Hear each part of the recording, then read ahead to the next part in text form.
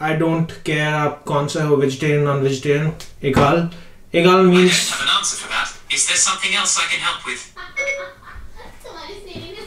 ये मेरी सीरी नहीं है ये तुम्हारी सीरी है। हटाओ इसको पता नहीं कुछ भी चिकन के नाम पे ये भी जाग जाती है। एक चिकन गाल एक गाल बोला ना तुमने। चिकन के नाम डालो तो ये सब जग जाते हैं।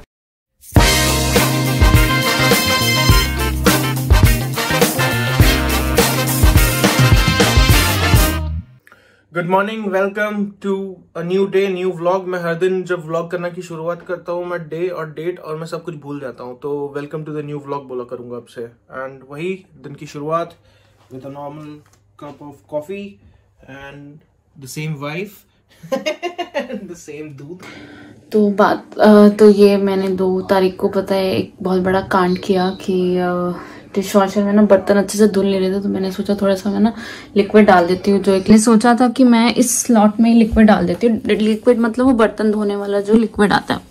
पर उससे ही हुआ यूँ कि यहाँ पूरा ओवरफ्लो हो गया, झाग झाग झाग बन गए। और इसका ये जो पंप है यहाँ पे, नीचे में, वो चल रहा था और ऊपर से कोई पानी वानी नहीं आ रहा मतलब ये बंद पड़ गई। तो हमने फिर इसको थोड़ा बहुत खोला वोला किया और नीचे देखा। तो इसमें से इतना पानी तो निकला है। अभी इसमें से गेर दिया। इस, इससे थोड़ा सा और ज़्यादा था पानी।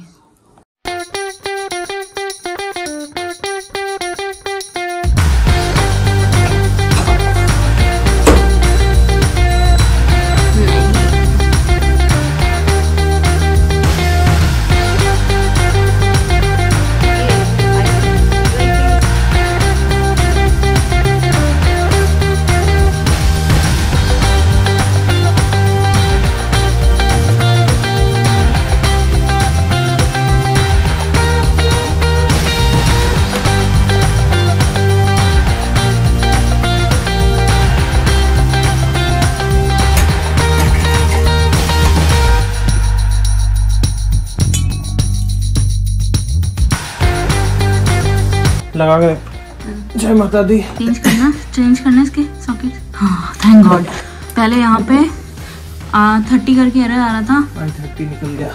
और यहाँ से अभी सारा पानी वानी निकल गया है।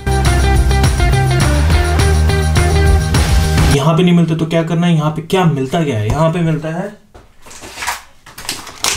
ऐसा बड़ा चिकन का डब्बा। नाउ द थिंग इज़ कि इंडिया में हम लोग कभी भी चिकन खाते थे तो कभी ऐसी आदत नहीं रही कि चिकन के साथ स्किन भी खाना होता है। अब जैसे यहाँ पे धीरे धीरे हम रहते रहे तो हम पहले क्या करते थे कि ये जो चिकन का स्किन है, इसको पूरा निकाल के फिर उसको काट के फिर उसको बना देते हैं बट अब धीरे धीरे ये भी पता लगने है कि चिकन में अगर आप स्किन खाते हैं तो स्किन में ज़्यादा प्रोटीन रहता है। एंड देन उसको आप और ज़्यादा कुरकुरा कर सकते हैं then taste also good actually लोग स्किन के लिए भी खाते हैं कभी कभी चिकन बट नेवरलेस आज मैं दिखाता हूँ how I cut my chicken so when you come to Germany and when you buy yourself a chicken then that's how you cut it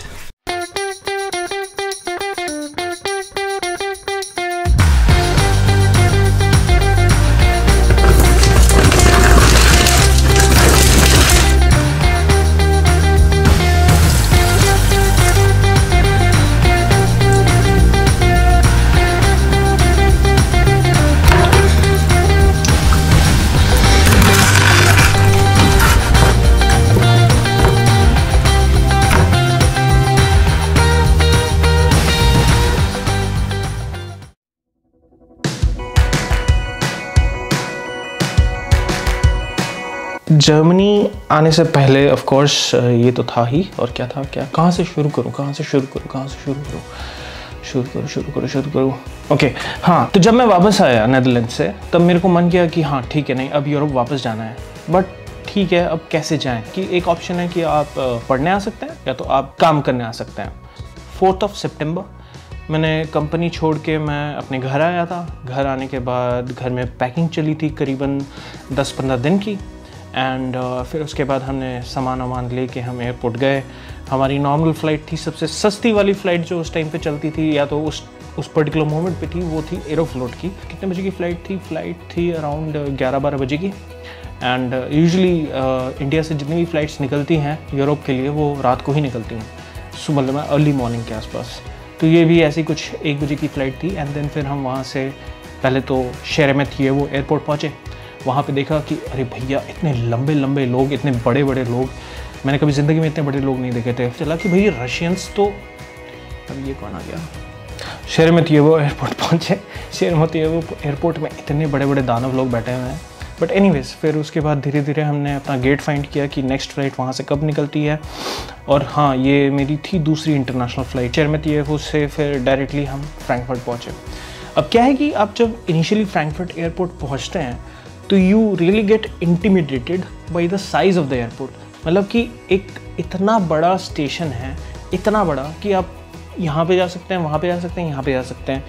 मतलब हर चीज़ के लिए आपके पास दो दो, तीन तीन ऑप्शन होती है इतनी बड़ी एयरपोर्ट में। तो आप थोड़ा सा कन्फ्यूज़ भी हो जाते हैं। और दूसरा है कि फ्रैंकफर्ट एयरपोर्ट में कुल मिला के एक, दो, तीन, चार चार, पाँच पब्लिक ट्रांसपोर्टेशन के ऑप्शन हैं। एंड देन आपके पास अगर आपने कहीं से कहीं की टिकट ऑलरेडी बुक कर रखी है तो आपके पास टाइम का भी क्रंच होता है। तो फिर आपको वो टाइम भी फुलफिल करना होता है। बट यहाँ पे क्या होता है इन्फॉर्मेशन सेंटर में भी कभी कभी लोग इंग्लिश नहीं बोलते हैं या तो लोग नहीं होते हैं because this is not a country of many labours तो ज़रूरी नहीं है कि जैसे आप रात को पहुँचे तो रात को इन्फॉर्मेशन सेंटर खुला होगा। जब uh, मैं आया था तो फिर मैं गया 24 घंटे वाले इन्फॉर्मेशन सेंटर में डॉयचे बान डॉयचे बान यहाँ की जो इंडियन रेलवेज़ की तरह है, वैसी एक सिस्टम है। तो वहाँ पे गया और मैंने मैंने मशीन से भी टिकट नहीं खरीदी। आपके पास ऑप्शन है बट आप यूज़ नहीं करते। आपको चाहिए कि आप किसी इंसान से पूछें करेक्ट तो ये चीज़ जो है, ये बहुत बड़ा एक डिफरेंस था। जैसे इंडिया में आप कुछ करना जाओ, जैसे आपको रास्ता देखना है, या आपको कहीं पे जाना है तो आप आसपास के भैया लोगों से पूछ के आप अपना रास्ता बनाते हो। ऐसे ही हमें इंडिया में सिखाया गया है और ये काम भी करता है इंडिया में। जर्मनी में क्या है कि अगर आप किसी को पूछने जाओ तो वो आपको उल्टा दिखा देगा कि ये देखो, ये साइन बोर्ड तुम्हें नहीं दिख रहा। ये तुमको ये रास्ता नहीं दिख रहा। मतलब कि द थिंग इज़ कि उन्होंने ऑलरेडी हर चीज़ अपने हिसाब से बना रखी है ऑर्गेनाइज तो आपको किसी को पूछने की ज़रूरत भी नहीं है। बस टाइम से आनी है ट्रेन टाइम से आनी है, सब कुछ टाइम से आना है। शायद से दो तीन मिनट का फ़र्क पड़ेगा बट आएगा ज़रूर वो। तो फिर वहाँ से फिर मैंने डी वी वन के टिकट इन्फॉर्मेशन सेंटर से मैंने टिकट खरीदी एंड देन फिर मैं वहाँ से ट्रेन स्टेशन और उसकी प्लेटफॉर्म देखना पड़ता है। अब क्या है कि इंडिया में आप अगर ट्रेन की प्लेटफॉर्म देखने जाओ तो आपको वो बड़ा सा बोर्ड दिखता है ना, वहाँ से पता चलता है। या तो आपको प्लेटफॉर्म में जो भैया खड़े रहते हैं ना, कि भैया यहाँ पे आठ बजे कौन सी ट्रेन आने वाली है इस पर, इस पटरी पे?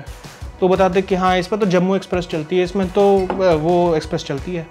तो ये चीज़ जर्मनी में ऐसा नहीं होता, क्योंकि जर्मनी में कोई भैया नहीं बैठे रहते पटरी पे मतलब पटरी पे सॉरी वो प्लेटफॉर्म पे, कि आप उसे पूछ लो कि कितने बजे जाएगी ये वाली ट्रेन तो उसमें टिकट में ही लिखा रहता है कि ये प्लेटफॉर्म से इतने बजे जाएगी। और अगर आपकी ट्रेन इन केस डिले होती है प्लेटफॉर्म चेंज होता है तो जिस प्लेटफॉर्म पे आप जाएँगे, वहीं के बोर्ड में लिखा रहेगा, वहाँ पे जो बड़ा बोर्ड होगा, उसी प्लेटफॉर्म के ऊपर, वहाँ पे लिखा रहेगा कि नहीं, ये वाली पटरी नहीं, दूसरी वाली में जाओ। और नो डाउट इन्होंने इतने अच्छे से साइनगेज कर रखे हैं, अपने पूरे मार्क कर रखे हैं, अपने स्ट्रीट्स, अपने एलीज अपने छोटे छोटे नुक के गली, फिर हम वहाँ से निकले। हमने ट्रेन पकड़ी। ट्रेन भी हमारी ऐसी थी कि यहाँ पे चलती है direct train city to city और हमने ली ऐसी ट्रेन जो डायरेक्टली मुझे उस छोटे से शहर में पहुँचाएगी। अच्छा मेरा यूनिवर्सिटी जो था वो बहुत ही छोटे से शहर में था तो वो ट्रेन भी वहाँ पे मुश्किल से दिन में शायद दस बारह ट्रेन ही रुकती होंगी वहाँ पे।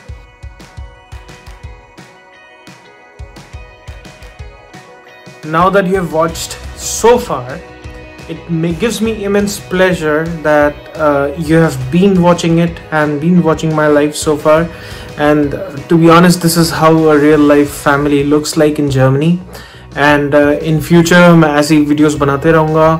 एंड uh, मुझे खुशी होगी अगर आप देखते रहें। एंड uh, बस कुछ नहीं आपका सपोर्ट चाहिए। So hit the like button press the bell icon press the subscribe button if you want to and also comment if you like our vlog or not. Bye bye. Hi guys welcome back to the channel. आज है third of दिसंबर और actually में अब हो गए हैं। शाम के कुछ पाँच बज गए हैं। कट आज थर्ड ऑफ़ दिसंबर नहीं है। क्यों आज फोर्थ है? आज दिसंबर ही नहीं है। दिसंबर बोल दिया। हाँ।